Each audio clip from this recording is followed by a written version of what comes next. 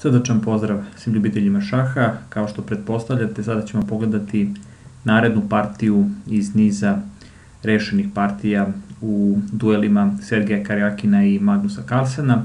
Reč je o četvrtoj odlučnoj partiji koja je odgrana isto kao i prethodne 2013. godine, ali ovoga puta na turniru u Norveškoj. E, ovaj turnir je veoma interesantan, e, pre svega jer je kreiran kako bi se na domaćem terenu Carlsenu pružila mogućnost da e, učini nešto više na popularizaciji šaha u Skandinaviji, naravno pre svega u Norveškoj, te je prvi put igran 2013. godine, ali na opšte zaprepašćenje e, šahovske javnosti nije ga osvojio e, Carlsen, već upravo Sergej Karjakin. Čak i naredne godine, 2014. Karjakin uspio da ponovi ovakav uspeh i da još jednom na domaćem terenu, da kažemo, pomrsi E, konce Carlsenu. I naredne 2015. godine Carlsen nije uspeo da osvoje turnir, to je tada pošlo za rukom Veselinu Topalova, tek ove godine, dakle u četvrtom izdanju turnira u Norveškoj, Carlsen je triumfovao. Dakle, e, pokazalo se da Karjakin može da e, u određenim okolnostima koje za njega možda nisu najpovoljnije izvuče najviše iz sebe, E, mada treba reći da partija, međusobna partija koja je te 2013. godine završena pobedom Carlsena. Naravno, u ukupnom skoru to njemu nije e, značilo dovoljno za triumf. E, triumfovo je Karjakin, iako je Carlsen ovu partiju dobio i time, da kažemo, u međusobnom skoru poveo sa 3 prema 1. Partija je interesantna i razlikuje se od ove prethodne koje smo pogledali, jer nije toliko duga i praktično je rešena sa jednom i po greškom e, Sergeja Karjakine koji je izašao iz otvaranja sa izvesnom prednošću, ali je on tu prednost prokockao i onda upao u matni mehanizam koji je kreirao Carlsen i e, morao je da položi oružje. Pogledajmo šta se dogodilo u ovoj partiji. Karjakin je otvorio partiju potezom E4, dakle kao i prethodne partije protiv Carlsena belim figurama. Ovo puta imamo E5 i špansku partiju posle poteza lovac B5. Naravno, kao što dobro znamo, e, Carlsen je e, kadar da igra i A6 i skakač F6, dakle da pređe u berlinsku varijantu. Podsjetimo da je u meču protiv Ananda igrao i jedan i drugi potez, čak i više igrao e, skakač F6 na ovom mestu, ali sada se odlučuje za potez A6, lovac A4, skakač F6, dakle običajni potezi, beli rokira, lovac E7, top E1, sada zaista preti kao što znamo, um, uzimanje na E5, tako da um, crni mora oterati belog lovca sa ove dijagonale, lovac B3, D6, C3, crni rokira i H3. Dakle, po možda 20. put ovim našim analizama došli smo do ove pozicije, dakle do e, najčuvenije pozicije ukupno, dakle u celoj spektru šahovskih otvaranja, dakle tabija zatvorene španske partije i sada su dakle mogući različiti nastavci za crno, kao što znamo skakač A5 i e, prelazak dakle, u varijantu Čigorina je nešto što se najčešće igralo tokom poslednjih 200 godina, e, ali kao što znamo mogući su i drugi putevi, pre svega varijanta Zajceva sa lovac B7 i varijanta Brera za koji se opredelio Carlsen, skakač B8, ova varijanta je u žiži poslednjih deseta godina, kako se već otvaranja ciklično smenjuju u popularnosti. Bila je popularna recimo za vreme Spasko, koji je veoma često igrao u otvaranje i zaista veoma uspešno, pa je onda, da kažemo, ispala iz žiže i sada se opet pre svega zbog Carlsena, pa recimo i zbog nekih drugih igrača, pre svega eh, Adamsa ili Bologana vraća na u veliku scenu. Eh, treba reći da je ovaj potez verovatno na nekom amaterskom nivou teško da će biti viđen, iako je e, konceptualno izuzetno ispravan, jer skakač više nema šta račini na polju C6, on će biti naravno e, premanevrisan na polje D7 i to tačno u trenutku kada beli povuče D2, e, D4, tako da će skakač sa D7 učušćivati pešaka na polje E5. Naravno, ovakvo povlačenje skakača sa polja C6 unazad na polje B8, verovatno kada je prvi put mađarski majstor Breer to tako odigrao 20. godina prošlog veka, to je izvelo veliko zaprepašćenje jer je se vratno smatralo nekom vrstom egzibicionizma, ali pozicije su veoma spore. ne dolazi do razmene pešaka i figura praktično do duboko u središnicu, tako da je sve u suštini vezano za sporo manevrisanje. Dakle, D4, skakač D7, skakač sa B na D2, lovac B7, dakle oba igrača mirno dovršavaju razvoj, lovac C2, top E8, A4, lovac F8, naravno crni mora sve što može učiniti kako bi učvrstio pešaka na polju E5, najčešće sledi G6 i lovac se fijanketira. Lovac D3, C6 i na ovom mestu najčešći potez je potez e, B3, tako se najčešće igralo, ali se Carlsen odlučio za nešto ređe, ali svakako veoma korektan i ispravan potez, kraljica C2, e, naravno e, B3 ili B2, B4 ću slediti kako bi ovaj lovac mogao da bude razvijen i kako bi topovi bili koordinisani. Na ovom mestu, dakle, posle poteza kraljica C2, G6 je ono što je najčešće igrano, što je igrao i Spaski upravo u ovoj poziciji.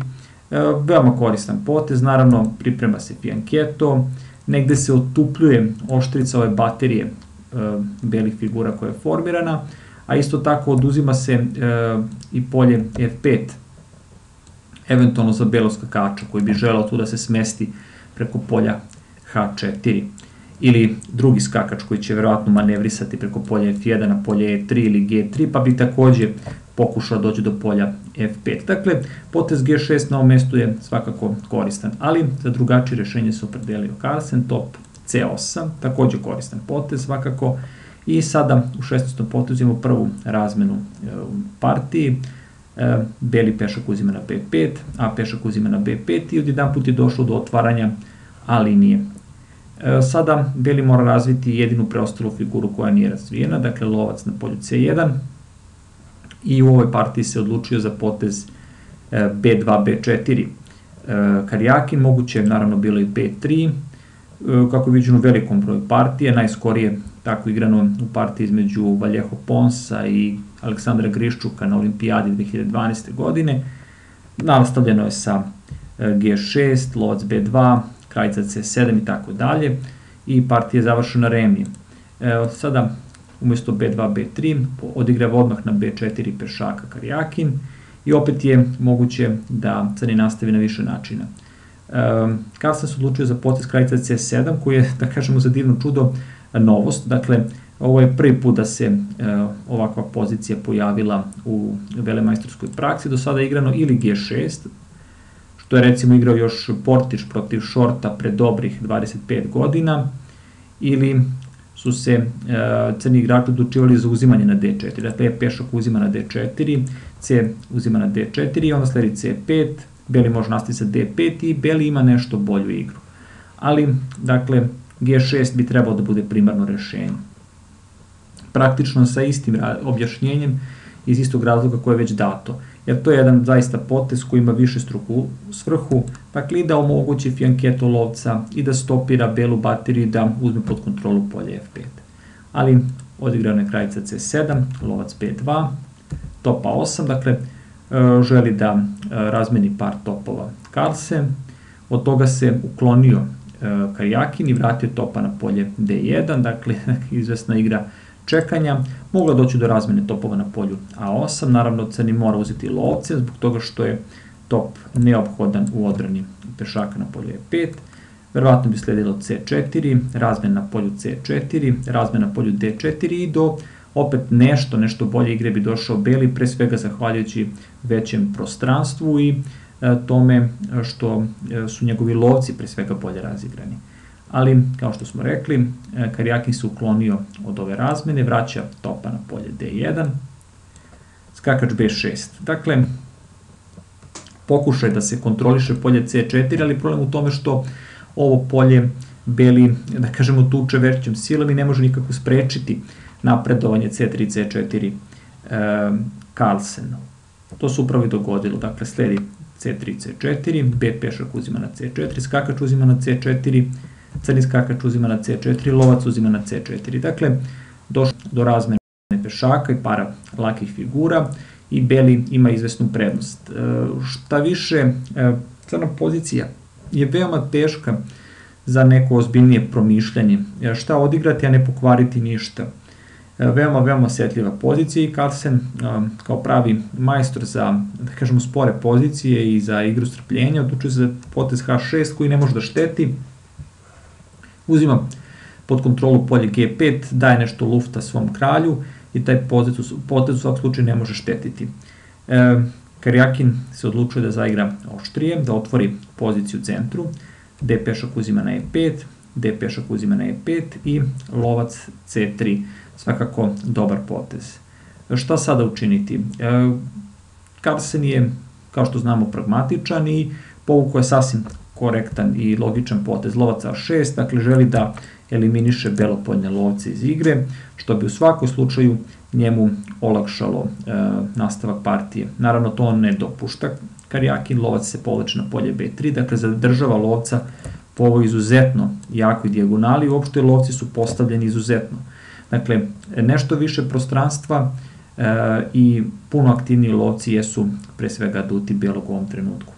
C5, dakle mora na neki izvestan način da e, promeni strukturu e, crni i pokušava da zakomplikuje igru. Kraljica B2, još jedan sjajan potez, dakle uklanja se i od potencijalne razmene kraljica koje su se nalazile jedna prema drugoj na C liniji i postiže sada bateriju koja je usmerena e, po drugoj dijagonali, dakle prebaciš kraljicu sa polja C2 na B2.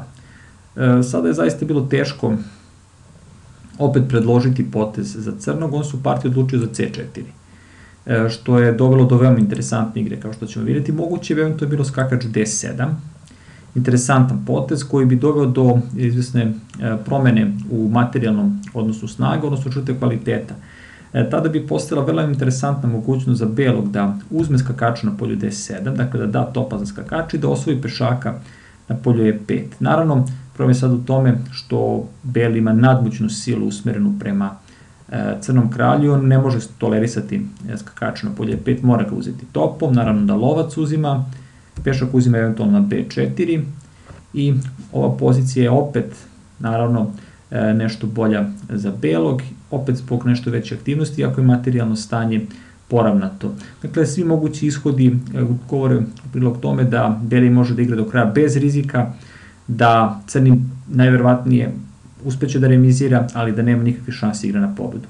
Zato je zaista i začuđujuće ono što se u partiji dogodilo. Dakle, nismo videli potez je 7, već C4, naravno lovac A4, napada topa, top je 6, i sada e, je konačno postigao, da kažemo, odlučnu silu, nagomilavši svoje snage prema crnom e pešaku Karjakin, napada ga tri puta, u svog slučaju će ga osvojiti. I samo se postavlja pitanje na koji način uzeti pešaka na polju E5. U partiji se Karjakin odlučio za uzimanje skakaša, što je svakako ispravnije. Uzimanje lovcem nije toliko dobro. Lovac uzima recimo na E5, kraljica je napadnuta, kraljica B6 i sada je jako B5, lovac mora da se povlači i posle recimo poteza lovac C2, beli se čini da zadržava nešto bolju igru, iako e, crni može da recimo, da kažemo, opkoli e, ovog pešaka na polju B5 potezom top A5 i e, formiranjem sobstvene baterije potezom lova C5 da ugrozi direktno i belo kralja. Ali čini se da e, je Karjakin pronašao bolje rešenje, skakač je uzeo na E5, lovac B7 i sada jedan potez koji se čini sporim i nepotrebnim. Lovac je stajao e, dobro na polju e, A4, ali je problem u tome što je trenutno pod napadom i vratno ga je bilo potrebno preusmeriti na drugo polje. To se, za to se odlučio Karjakin premeštajući lovca na polje C2, ali moguće je da imao i aktivnija rešenja na raspolaganju. Lovac C2 se čini kao gubitak vremena u ovom trenutku. Top sa A na E8, naravno odmah Carlsen zapaža šta mu je potrebno činiti, pokušava nekako da povrati e, svoje šanse u ovoj partiji ravnotežu. F4, to je slabost koju uspio da proizvede, e, napad na skakača, koji je sada toliko bio jak da je mora biti zaštićen pešakom i sada je u velikoj meri oslabljen, oslabljen crni kralj, a, beli kralj, što će se pokazati kobnim u nastavku partije. Lovac D6, dakle sada se opterećuje ova figura i sada u suštini najproblematičniji potez koji ostaje zaista enigmatičan. E, puno figura na tabli ima beli, nemoguće da nije mogao pronaći bolji potez od poteza kralj H2. E, teško da se može vidjeti logika ovog poteza da je kralj, da kažemo, dobrovoljno staje pod udar, potencijalni udar e, baterije crnih figura. Zaista, zaista prilično, prilično neshvatljivo rešenje. I sada već ima e, dobre poteze na raspolaganju Carlsen. On je pronašao najbolji potez, naravno skakač, skakač H5 sa direktnim atakom na pešaka na polju F4. E, rešenje koje se činilo interesantnim i primavljivim u stvari bilo bi gruba greška, recimo top uzima na E5, čini se da je jako, zbog toga što izgleda da ukoliko F pešak uzme na E5, top opet uzima na E5, ali problem u tome što je jak potez, naravno top uzima na D6 i sada veliki broj figura u crnoj poziciji stoji jako slabo, naravno i top je pod udarom. Stoga je skakač H5 svakako odličan potez, potrebno je bilo ovog pešaka zaštititi, ali to dalje slabi položaj kralja. I sada F6, još jedan udar na, pešaka, na skakača, skakač sada nema dobrih polja za odstup, morat će da bude razmenjen i to će uspeti da postigne Karjakin, ali u scenariju koji će za njega biti izuzetno, izuzetno nepovoljan. Naravno skakač G6 i skada sledi potez skakač F4. Problem u tome što je Gf4 nemoguće. Bilo bi idealno da bi moguće, ali nije dobro, jer ukoliko sada lovac F4 šah, skakač uzima, kraljica uzima i problem u tome što se beli kralj nalazi na vetrometini, veoma teško može da se spasi. Sada sledi recimo F5 i teško je, teško je zaista zbog mase vezivanja, dakle, ovaj top je ugrožen, naravno kralj je ušao opet pod e, neprijatnu masku, dakle, veoma, veoma komplikovana situacija. Stoga, dakle, posle poteza skakač uzima pešaka na F4, Karijaki pronalazi praktično bolje rešenje, dakle ne uzima nazad skakača, već uzima lovca na polju D6, privremeno dajući kvalitet, ali je svestan da će osvojiti kvalitet nazad. Naravno, skakač je uzeo na G6, top uzima na E6, top uzima na E6 i vidimo da se pozicija iskristalisala, opet je uspostavljena materijalna ravnoteža, čini se čak da bi po nekoj logici stvari beli trebalo da stoji jako dobro jer ima lovački par, ali problem je u tome što je ovaj pešak izuzetno preteći e, i druga stvar što je položaj belog kralja veoma, veoma kompromitovan. Lovac D4, F5 naravno, sada se potenciraju sve slabosti u poziciji, pešak je vezan, top u pozadini je ugrožen i nema bolje poteza od poteza E5, taj potez rešava jedan problem, ali otvara drugi problem. Sada je ova duga dijagonala po kojoj deluje lovac otvorena, a na ovu dijagonalu će uskoro zasesti, kako kažemo, i crna kraljica. Naravno, to nije odmah moguće, jer u slučaju odmah kraljica C6, onda je jako lovac F5. I onda je praktično crni u situaciji da može odmah da preda. Tako da je mora učiniti, ne kažemo, pripremni potez za ovo Karlsen, naravno on ga je bez problema pronašao, skakač je uzeo pešaka na polju E5, lovac je uzeo skakač na polju E5 i sada kraljica C6. Dakle, e, dao je čak i figuru Carlsen, ali sada je postigao direktnu matnu pretnju na polju e, G2, a u suštini i na polju H1, praktično vezujući e, belog topa za kontrolu ovog polja, ošto za kontrolu prvog reda. Veoma, veoma teška situacija. Sada je vjerojatno bilo neophodno lovac E4. Dakle, vratiti figuru, ali da kažemo tako, zaplombirati stvar. Dakle, e, F pešak uzima na E4, sada top E3, neophodno kako bi ovaj pešak bio zaglavljen na polju E4 i kako bi se otupela, da kažemo, oštrica ove baterije i e, kralj bio nešto sigurniji, ali Karjakin se odlučio za slabi potez, top G1, oni misle da ovim potezom u suštini štiti oba ova polja, po kojima je kralj ranjiv, ali to nije slučaj. Sledi kraljica D5, izuzetno jaka centralizacija. I sada naravno mora preći u neku fazu e, kontranapada vezano za kontražrtvu, naravno lovac je uzeo na F5, E, vraća figuru, napada topa, ali otvara i dejstvo sobstvene kraljice koja sada štiti kralja po drugom redu. Top je uzeo na E5, materijalno stanje je ponovo, da kažem, uspostavljeno, ali car ima puno bolju poziciju, dakle, e, prednja napredovanja pešaka izuzetno jaka, ova baterija praktično blokira topa i kraljicu i e, crni ima topa viška, da tako kažemo, s kojim može potpuno slobodno igrati. Lovac G4, naravno H5, lovac D1, C3, dakle još jedna sjajna diverzija.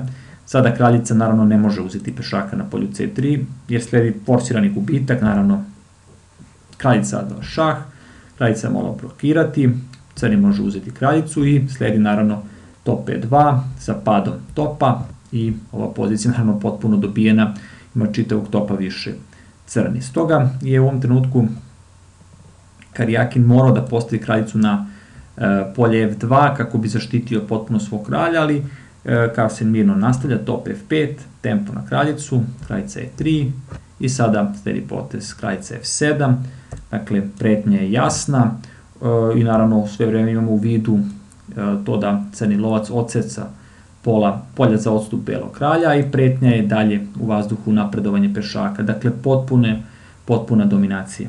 G4, top E5, još jedan tempo potez, kraljica D4 i poslednji potez u partiji, kraljica C7. Dakle, sada u ovom trenutku, dakle u 46. potezu predao je partiju Karjakinu, nema dobrih poteza, naravno vidimo da je sada praktično moguć različit, da su moguće različite vrste otkrivenih šahova, pre svega naravno potez e, top E2 i e, u svakom slučaju na veliki broj e, pretnji kojima je sad izložen Beli ne može da odgovori. Vratno je bilo lovac B3, šah bilo po najbolje, dakle neka vrsta kontranapada, kraj se birno sklanja, crni je bezbedan, a Beli nije rešio nijedan svoj problem. Dakle, potpuno, potpuno opravdana, tako, tako kažemo, predaja u jednoj partiji koja je veoma čudna iz tog razloga što je e, Karjakin stajao odlično iz otvaranja, sve negde, da kažemo, da je to recimo